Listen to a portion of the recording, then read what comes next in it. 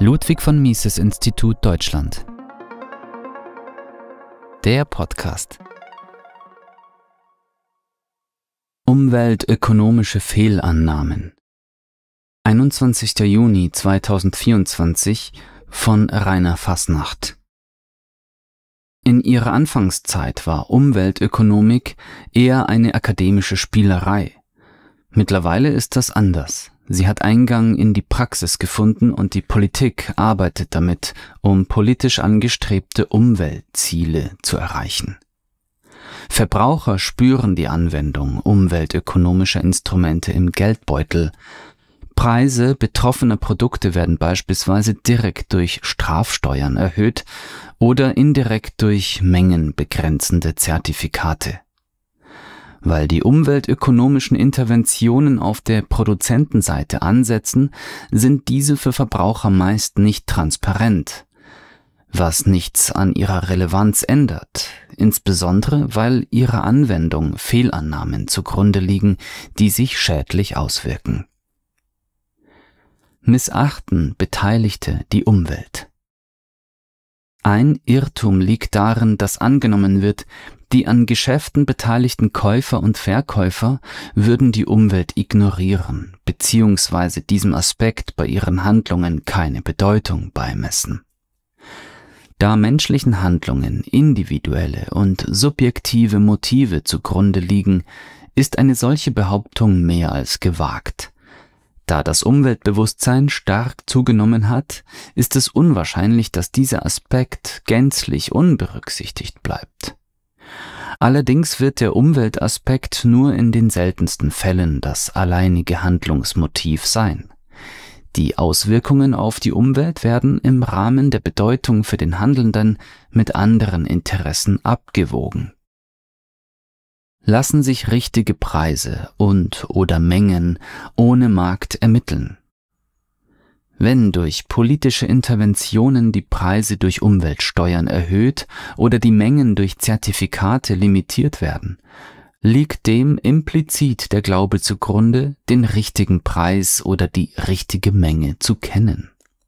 Hier liegt eine Anmaßung von Wissen vor, denn erst der freie Markt bringt jene Preise zum Vorschein, welche die zahlreichen unterschiedlichen Interessen inklusive der Umweltaspekte entsprechend der Bedeutung für die Beteiligten berücksichtigt. Wirken umweltökonomische Interventionen nur in die gewünschte Richtung? Wie alle politischen Interventionen wirken auch umweltpolitische in teils unerwarteter Richtung. Markteingriffe und nicht marktgerechte Preise und Mengen bewirken nicht gewollte Effekte und treiben die Interventionsspirale an. Die Umweltökonomik tritt mit dem Anspruch an, zur Reduzierung externer Umweltkosten beizutragen. Es entbehrt nicht einer gewissen Ironie, dass die Anwendung umweltökonomischer Instrumente ihrerseits selbst solche Kosten erzeugt. Der Markt lässt politische Interventionen auch in diesem Fall nicht ungestraft. Bleiben Schäden bei Dritten ohne umweltökonomische Eingriffe unberücksichtigt der politischen Intervention bzw. wirtschaftlichen Manipulation liegt der Glaube zugrunde, nur auf diesem Weg wäre es möglich, Umweltauswirkungen zu integrieren. Es wird angenommen, dass nur so die externen Kosten zu internen gemacht werden könnten. Doch auch in einer freien Marktwirtschaft gibt es hierfür ein Werkzeug. Entstehen Schäden bei Dritten, beispielsweise die Verschmutzung eines Badesees, sind Gerichte da, um Forderungen gegenüber dem Verursacher geltend zu machen. Der Vorteil dieses Verfahrens gegenüber der umweltpolitischen Intervention liegt darin, dass tatsächlich Schäden vorliegen und belegt werden müssen. Es genügt nicht, solche anzunehmen oder zu behaupten, Fakten statt Fiktion. Der in der Tradition der österreichischen Schule stehende Ökonom und Schüler Ludwig von Mises, Mary Ann Rothbard (geboren 1926, gestorben 1995), schrieb folgendes: Zitat. Wenn eine Partei einer anderen durch eine Handlung einen Schaden zufügt und wenn dies vor Gericht oder in einem Schiedsgerichtsverfahren mit an Sicherheit grenzender Wahrscheinlichkeit bewiesen werden kann, dann stünden der geschädigten Partei Abwehr- und Schadensersatzansprüche zu. Es dürften aber keine vernünftigen Zweifel mehr verbleiben, dass das Verhalten des Schädigers den Schaden bewirkt hat. Wenn nicht alle vernünftigen Zweifel ausgeräumt werden können, ist es jedoch bei weitem besser, einen Schädiger nicht zu verurteilen, anstatt unsererseits jemandem absichtlich Schaden zuzufügen. Der Grundsatz des hippokratischen Eides zuallererst füge kein Leid zu, muss auch für jeden gelten, der Recht anwendet oder vollzieht. Zitat Ende sind Schäden an eigentümerlosen Dingen auch über Gerichte nicht berücksichtigbar.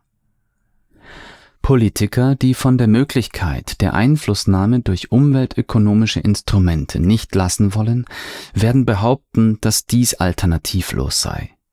Schließlich gibt es Badeseen, Meere und andere quasi eigentümerlose Dinge, bei denen niemand die Schäden der Verschmutzung einfordern kann. Dem ist entgegenzuhalten, dass Dinge ohne Eigentümer tendenziell übernutzt werden, das Problem der Allmende. Es gibt also nicht nur keinen Eigentümer, der Forderungen stellen kann, sondern so viele Nutzer, dass auch hierdurch Schäden entstehen. Die Lösung liegt darin, öffentliches Eigentum in Privateigentum zu verwandeln. Gehört der verschmutzte Badesee jemanden, hat dieser Eigentümer ein Interesse, eine Übernutzung zu vermeiden und Schäden durch Verschmutzung beim Verursacher geltend zu machen. Fazit Aufgrund der geschilderten umweltökonomischen Fehlannahmen sind ökologisch motivierte politische Interventionen genauso schädlich wie jeder andere Eingriff in den freien Markt. Wie aktuelle Beispiele zeigen, kommt erschwerend hinzu, dass einige umweltökonomische Instrumente Anreize für Missbrauch schaffen. Das war der Ludwig von Mises Institut Deutschland Podcast. Mehr Informationen auf mises.de.org. Wenn Ihnen dieser Beitrag gefallen hat, können Sie das Ludwig von Mises Institut Deutschland unterstützen, indem Sie uns eine Spende zukommen lassen oder Fördermitglied werden. Alle Informationen hierzu finden Sie in der Beschreibung unter diesem Beitrag. Bitte abonnieren Sie auch unseren Newsletter, damit Sie künftig keinen Beitrag mehr verpassen. Und falls Sie diesen Beitrag auf unserem YouTube-Kanal hören, bitte hinterlassen Sie ein Like und abonnieren Sie unseren Kanal.